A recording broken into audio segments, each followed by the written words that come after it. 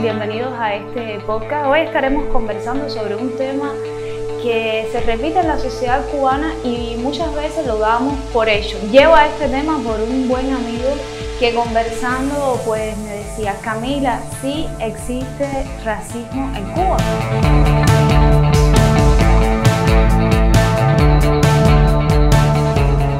En mi cabeza para mí no había. Recuerdo que hace muy poquito un video sobre mi callito, una playa gay muy famosa en Cuba. A raíz de este video, muchísimos suscriptores cancelaron la suscripción y bueno, pues el video no fue uno de los más vistos.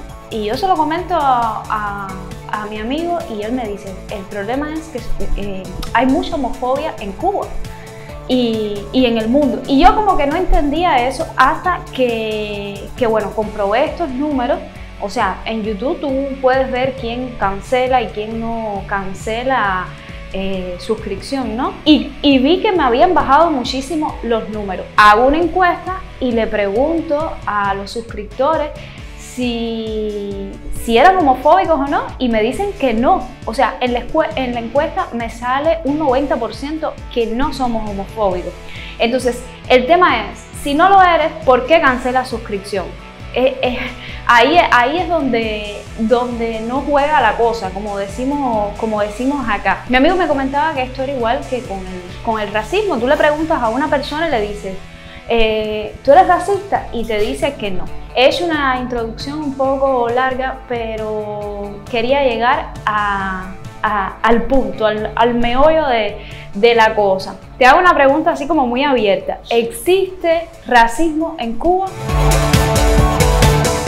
Vamos a empezar que el racismo en Cuba no está institucionalizado como, como mucha gente te puede decir. Ciertamente, después del año 59, vamos a decirlo así, porque yo soy una gente que nací con, después del 59.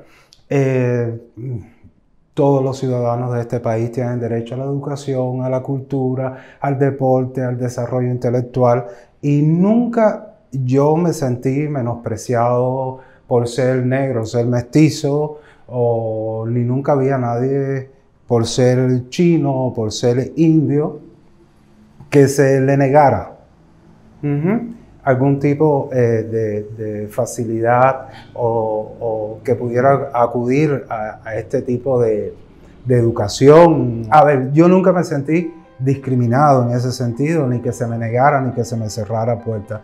Tuve eh, derecho a estudiar en la escuela primaria, en la secundaria, preuniversitaria, a la universidad. Entré como entra cualquier ciudadano en este país por las pruebas de ingreso y se me evaluó con el mismo rigor que se, se evalúan a todas las personas. Y crecí viendo eso. A medida que va pasando el tiempo, uno se va dando, eh, se va dando cuenta de, signos o pequeñas, de sutilezas que todavía existen en la sociedad cubana o que existían en aquel momento en la sociedad cubana, que te puede alertar y decir, hay o no racismo en la población, hay o no racismo en la sociedad cubana. Y, y sí, llegué en un momento en que me lo planteé muy en serio y empecé a observar eh, actitudes, comportamientos.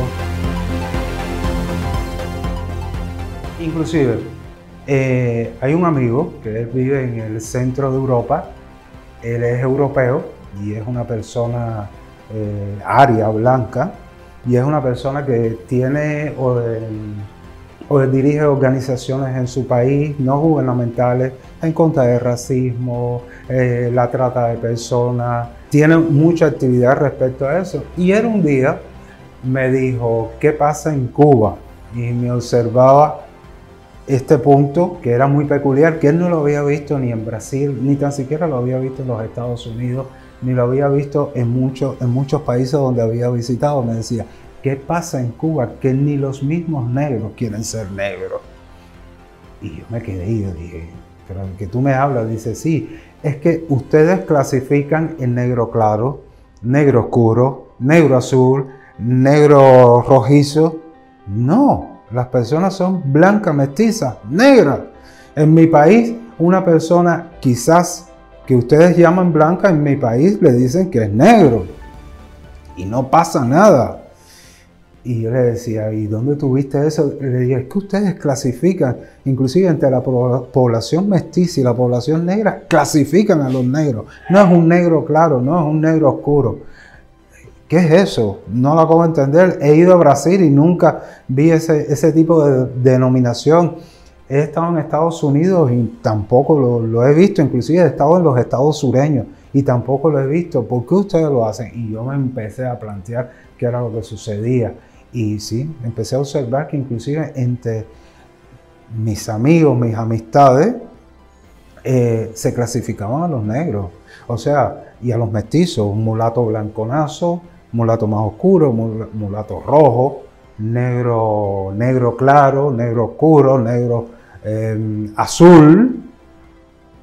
Y decía, pero ¿por qué? ¿A qué se debe eso? Y mientras más oscuro uno es, peor lo lleva. Para unas cosas la población negra funciona, o sea, se reconoce que, por, ejemplo, los negros tienen facilidad para la danza, que tienen facilidad para el canto. Eh, hay clasificaciones que dicen, por ejemplo, esa voz de un, de un, negro. Y ciertamente es así. Tú puedes reconocer la voz de alguien de la raza negra cuando canta, porque tiene ciertos y determinados características. Cuando se refiere al canto, yo no lo he visto de manera despectiva. No, no, no. Igual que para el deporte. Ya para otras cosas ya es diferente, ya cambia por completo ya. Por ejemplo, algo que golpea mucho a la sociedad cubana y que últimamente eh, he visto siempre la juventud es la que va llevando, eh, va rompiendo moldes eh, o sea, tuve las amistades entre negros y blancos, tuve entre mestizos y blancos. Pero algo que sigue llamando la atención es cuando se forman las parejas interraciales. Ya estamos hablando de otra cosa.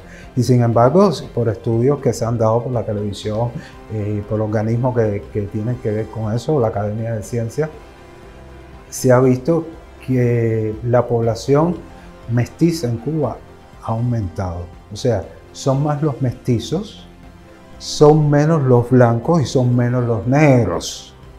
O sea, porque la población se está mezclando. Pero sin embargo, aún queda, eh, quedan pensamientos muy erróneos y hay personas que van en contra de ese tipo eh, de, de relaciones. Bueno, ¿por qué los negros ¿Por qué yo puedo bailar con una persona de la raza negra? ¿O por qué puedo eh, cantar con una persona de la raza negra? Pero ¿por qué no me puedo eh, formar una familia con una persona de la, raza, negra si yo soy blanca, blanco? Y entonces esas son cosas que todavía siguen quedando en la sociedad cubana. ¿Y qué me dices de los blanquitos que quieren ser negros para irse de Cuba? O sea, eh... Ahora vamos a hablar de eso. Eh, en los años 90, cuando hubo la apertura del turismo aquí en Cuba, empezaron a llegar, empezó a llegar mucho turismo europeo, español sobre todo, italianos, franceses en alguna medida, alemanes. Llegaron, eh, llegó un turismo también de, de Escandinavia, de Suecia, de Noruega. Y ciertamente, como me decía una amistad que me decía, es que los negros y las negras en Cuba tienen unos cuerpos espectaculares y son realmente bellos.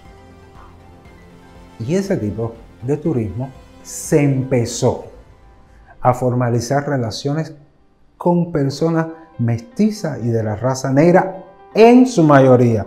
No, hubo personas que se casó con blancas y con blancos y que se fueron. Y entonces, eh, en un momento determinado, eh, sí, yo tuve amistades que me dijeron, si yo tuviera tu color, ya no estaría aquí en Cuba. Y yo me quedaba así, como diciendo, bueno, pero ¿por qué? Dice, como se están yendo los negros. Eh, las europeas vienen y se quedan locas con los negros, con los mulatos, y se los lleva. Los europeos ven, ven unas mulatas y se vuelven locos, y si yo tuviera tu color. Y en ese mismo momento fue que dije, mira, ahora es que los blancos quieren ser mestizos o negros, tan solo por irse de Cuba. Porque realmente llegó un turismo, que era un turismo eh, sexual, porque era un turismo sexual, pero llegó turismo en busca de personas para casarse, para formalizar relaciones y ante la exuberancia, ante la belleza de esa población mestiza y esa población negra, porque realmente cuando hay, eh, cuando hay relación, cuando se mezclan las razas, es cuando hay una belleza que tú lo puedes ver. Y en los años 90 hubo una cantidad de personas conocidas y otras que no, que, que, que sé de historias por amistades que se fueron gracias a los matrimonios. Y eran matrimonios interraciales. Eso fue algo que se vivió en Cuba. Hoy en día lo mismo se va a una blanca, un blanco, un, un, chino, se va a cualquier tipo de persona, casado, te estoy diciendo, formalizando matrimonios con ciudadanos de otros países, eh, y, y, ya no se echa a ver tanto. La mayoría de mis amistades negras y mestizas de aquella época casi todos viven en Europa, casi todos viven en Estados Unidos, una parte vive en Sudamérica, eh, porque encontraron matrimonio, eh, encontraron cómo formalizar relaciones y relaciones no basadas en un interés, no, no, relaciones serias, relaciones para formar familia y así, así, así. ¿Y qué tú crees de la famosa frase de si una blanca está con un negro, quema petróleo? Ah. Eh, y si el negro está con la blanca, está adelantando la raza. Ahora te voy a decir, te voy a decir una, frase que yo me reí, me reí bastante. Aquí tenemos una, una para mí es una BD, una, una showwoman, Juana Bacallao. Juana Bacallao es una mujer muy ocurrente. Y es, ella tenía armado un show con toda la locura que, que lleva, un show para tú prestar atención, dejar de hacer lo que estás haciendo, si estás conversando, si estás hablando, y tú le prestabas atención a las cosas que decía Juana Bacallao, porque es una mujer que, tiene una chispa, una cubanía, un sabor, una, ricura que es como, como es un cubano, ¿no? Igual a em, había un, habían dos artistas. Esto fue un show de la televisión. Creo que fue en vivo, creo que fue, no sé si fue en Sabadazo, un programa de eso. Y bueno, Bacallao sale y estaba un cantante que se llama Carlos Manuel.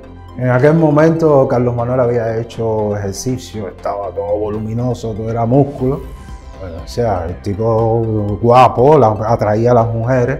Y había otro cantante de otra orquesta, ahora no me acuerdo, que también, o que le hacía coro, pero también un negro de estos exuberante, musculoso, fuerte. Y bueno, Bacallao salió y le dijo, hoy quemo gasolina especial, hoy no quemo petróleo, estoy para gasolina especial. El público, yo me tuve que reír, porque como es Juana Bacallao y de la forma que lo dijo, y eso es una de las frases que, había. O sea, también hay mitos, ¿no? Que si una blanca está con un negro, que a la vez que, una persona blanca prueba a un negro o una negra, ya no lo puede dejar. Que si un negro parece blanco por la forma de actuar, por la educación que tiene o cómo se dirige, eso para mí o de adelantar la raza. Para mí eso es un término, nunca he entendido eso de adelantar la raza. Voy a tener un hijo con una persona de la raza blanca para adelantar. Inclusive yo tengo amigas que me han dicho para que no pasen los trabajos que yo pasé, ni sean discriminados como yo lo pasé, como yo lo he sido. Y me han dicho, ay no, pero tú eres un negro, pero tú eres blanco. Porque no sé, porque estudié en la universidad, porque fui educado, porque nunca permitieron que yo dejara la escuela, que me formara. Me crié en un barrio eh, muy bueno, como era el Vedado de los años 80, y que no es el Vedado de ahora. Me dediqué a estudiar, eh, a estudiar una carrera, a estudiar idiomas en mi tiempo libre, eh, a estudiar música en mi tiempo libre para tener ocupado. Y eso me dio una educación por mi madre, que mi madre se esmeró mucho en mi educación, a pesar de ser una mujer muy humilde, y que en los tiempos del capitalismo sufrió discriminación racial, porque ella nació de los Mi mamá se vino a alfabetizar después del 59. Y después del 59 mi mamá como que se educó, tuvo acceso, no avanzó mucho, pero eh, ella lo que sí hizo fue un esfuerzo increíble porque yo me educara, porque yo no dejara la escuela, porque yo me formara, porque tuviera una profesión y muchas veces he sido tachado por amigos que después, momentos después, que me han dicho, tú eres un negro que eres como blanco. Eh, dicho, no, yo soy un negro que soy negro. Ay, ¿te acuerdas la entrevista que vimos muy buena en El Hormiguero? Ah, sí. Sí, vamos, vamos a hablar sobre eso. A ver, Ana, Ana Peletero, que es lo que se llama la deportista.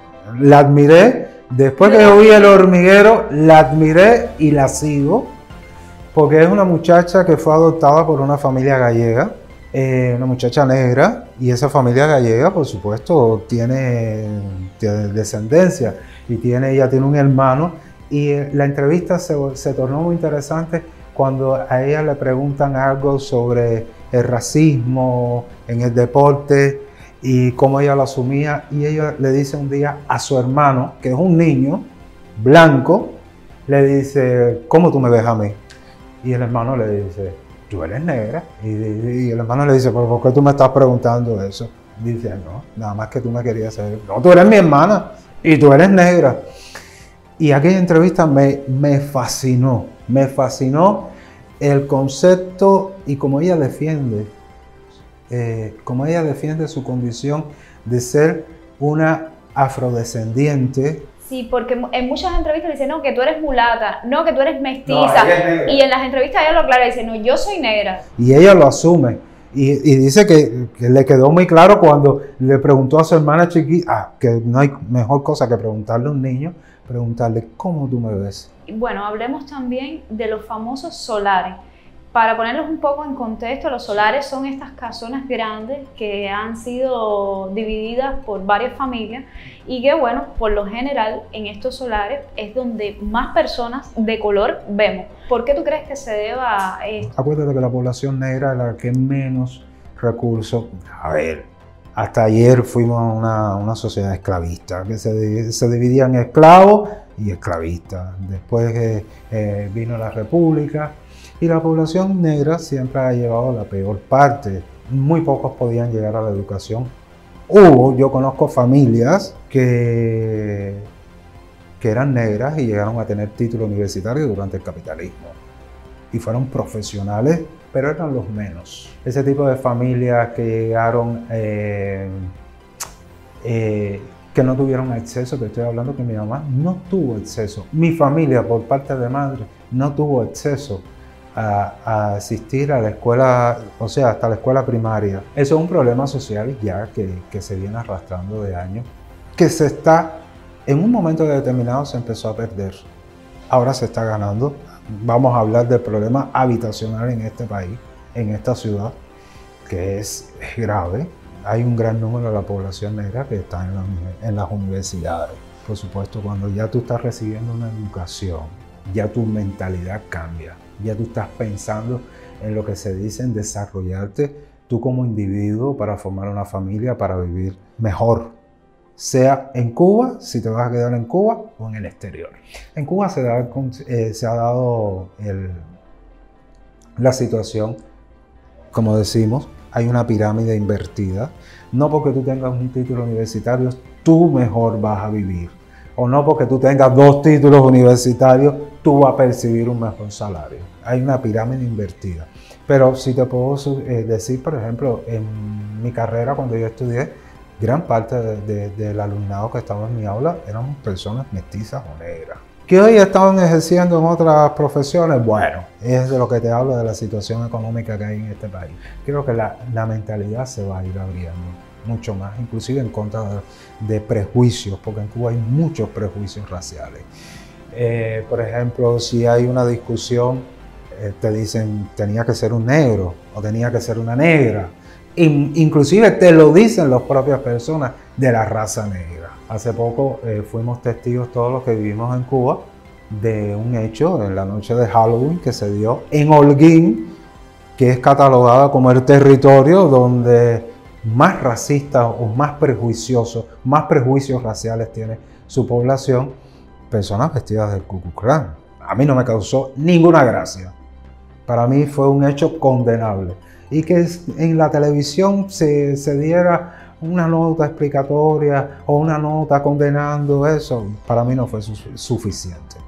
No fue suficiente.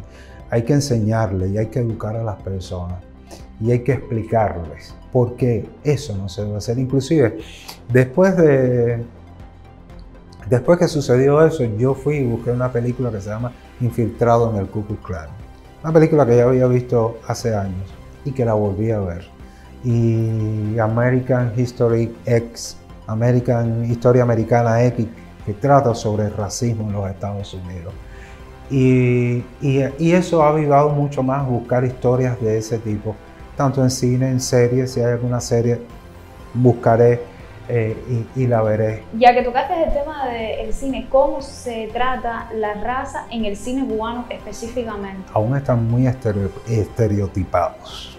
Estamos viendo, si vamos a, ver la historia del cine cubano, estoy buscando películas donde realmente, por ejemplo, los protagonistas eh, sean personajes negros negros, mestizos, con historias de negros y de mestizos, como lo puede hablar en el cine, por ejemplo, norteamericano, que hay disímiles historias que hablan sobre el esclavismo, pero también historias que hablan de la sociedad norteamericana actual, en el tratamiento que, se le dan a los negros y el, protagonismo, y el protagonismo que juegan los negros. A mí me parece que es insuficiente, no solamente en el cine, sino en el audiovisual, en el universo audiovisual cubano Hay una imagen de blanqueamiento de la sociedad cubana que como bien te dije se contrapone cuando nos estamos mestizando. Hay mucho más, el nivel de mestizaje en la población ha crecido mucho. Faltan historias, eh, faltan historias, faltan gente que, eh, escriban historias sobre personajes negros, que hay mucho. Ya se hizo una, una historia, una película sobre Benny Moré. Eh, se me ocurre pensar en el otro Francisco de Tomás Gutiérrez Alea, o se me ocurre pensar en Pataquín, eh, una película que, se estrenó durante los 80 y que el personaje central era un negro, eh, pero falta, falta mucho más historia. Hay una película que se llama En 3 y 2, que yo creo que es, esa película de Rolando Brito, creo, es de Rolando Brito, bueno, no recuerdo bien, creo que no, Rolando Díaz, el director de Los pájaros tirándole la escopeta. Corrígeme si me equivoco. Que es una historia de negros. ¿Dónde más lo veo? En historia, en los videos clic cubanos. O sea, no puede faltar en los videos cubanos la, clásica mulata que se mueve o el negro que, baila, rumba. Eh, eso sí, no, no falta. Sí, pero no se ven, eh, por ejemplo, no, no se ven personajes eh, ya con una carrera, estudiados, casi siempre... Eh, casi siempre es meneando la cintura, moviéndose de forma erótica, con torso al desnudo, con miradas y boquitas, cosas que incitan, que incitan al amor. ¿Me entiendes? Pero sí, falta. en, el cine cubano, que todavía ha sido... Mm, mucho más espléndido que la televisión cubana, no te voy a hablar de la televisión cubana. Eso es un tema aparte. En la televisión cubana, cuando tú enciendes el televisor, eh, las historias que tú miras en los dramatizados, los protagónicos, los protagónicos son blancos o personas muy claras. Inclusive, mm, quizás puede haber una persona negra o puede haber un conflicto, pero no es lo principal son historias apoyando a, la historia central que casi siempre está protagonizado por historias de, personas blancas o, mestizos adelantados, vamos a decirlo así, o criollo, el blanco criollo que hay en Cuba. Este año yo pude ver una obra de teatro Los pájaros negros, de Aniesca, no recuerdo el apellido, que es una obra que habla de racismo con un texto increíble y una puesta de escena impresionante.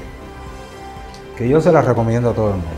Está de más darte las gracias por haber accedido a esta mini entrevista, que no es ni siquiera una entrevista, espero que haya sido provechoso para todos los que se quedaron desde el principio hasta el final de este podcast. Muchas, muchas, muchas gracias. Recuerden que pueden seguir a Cubané en todas sus redes sociales, en Instagram, en Facebook, en YouTube, en el podcast, en TikTok, en todas las redes sociales. Y bueno, nos vemos en, en el próximo podcast. Gracias.